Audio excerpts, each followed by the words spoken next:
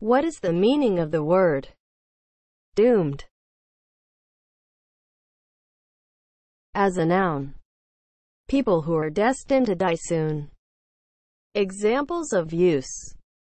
The agony of the doomed was in his voice. Doomed is spelled D O O M E D. Doomed